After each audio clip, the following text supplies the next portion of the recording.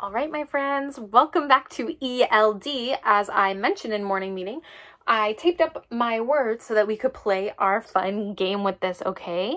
So we're to review the words, and then if you remember, I'm just to do the motion, and you guys can say whatever word goes along with the motion I'm doing, okay? So if you remember, this one up here says strike. Can you go strike? A strike is when you stop working because you are mad. That's a strike. This one says exchange. Can you say exchange? Mm-hmm. Exchange is when you take something and you give something in return. For example, in this picture, the person is taking their shopping, their new clothes, and giving money.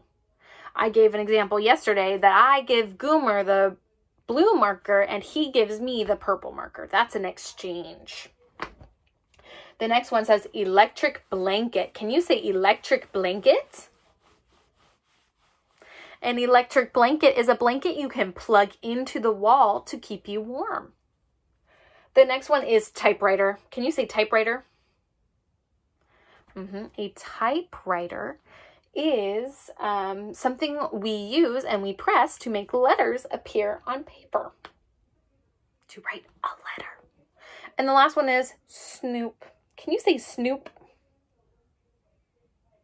A snoop is somebody who's always spying on other people.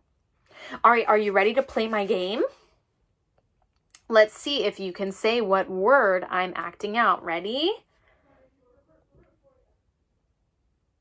What word is that? Did you say Snoop? Say Snoop. Mm-hmm. Let's see about this one. What word is that? Electric blanket. How about this one? That's Snoop again. Oops, wrong one. That's Snoop again. How about this one? That's a strike. A strike. Can you say strike? And this one? What's that one called? A typewriter.